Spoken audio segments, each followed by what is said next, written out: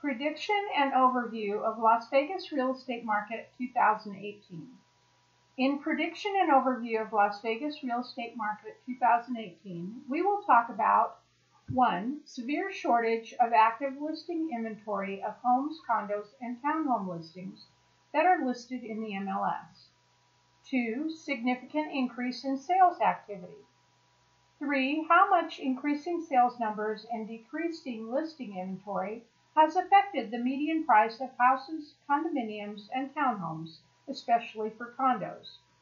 4. Effective foreclosures and short sales on the Las Vegas real estate market 2018. 5. Finally, our prediction.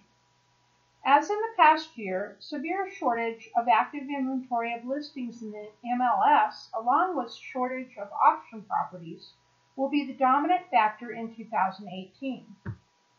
As you see in this graph, while the listing inventory of Las Vegas homes for sale for December 2017 is 46% below previous December, the 12 months rolling average listing inventory is down by 29.1%. The listing inventory for Las Vegas condos for sale is down by 42% from the past December and 40.5% for the year. Please pay attention to the downward trajectories of the second graph as well. But a better measure is the months of listing inventory because it is calculated using the sales numbers as well.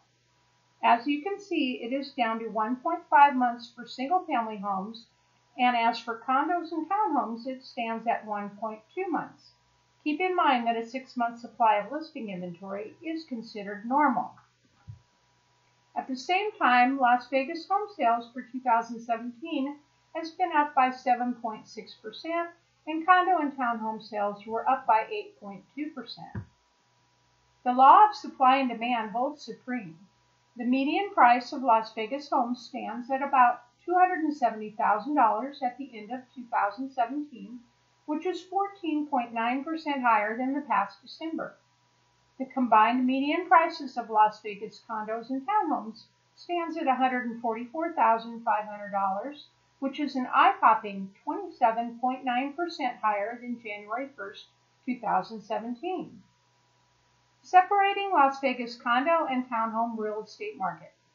We've said that the combined median price of condos and townhomes gained 27.9% higher than the previous year. However, condos and townhomes have not appreciated uniformly, and the lion's share of appreciation goes to condos. As you see in this graph, at the end of 2017, the median price of Las Vegas condos was $128,000, which is a truly eye-popping 34.9% higher than January 1st, 2017.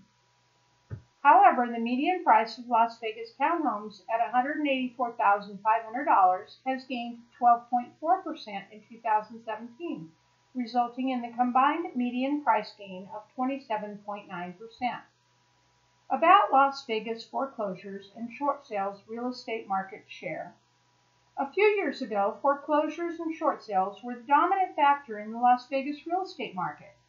However, the shrinking number of foreclosure and short sale listings brought upon by increasing prices has sharply reduced their effect on the real estate market to the point that it is negligible. Of 34,351 single-family homes sold in Las Vegas in 2017, only 3.3% were foreclosures and 3.6% were short sales. Of 4,702 active listings, only 5.4% are bank-owned homes and 5.1% are short sales. Of 3,795 condos and townhomes sold, only 1% were foreclosures and another 2.3% were short sales, while 0.4% of condos and townhomes listings are foreclosures and another 2.1% short sales. The vast majority of these are in lower price ranges, and discounts gained from these aren't enough to have any effect on the market. Our prediction of the Las Vegas real estate market 2018. While there are predictions that the number of active listings will go up in 2018, so far we don't see any sign of it.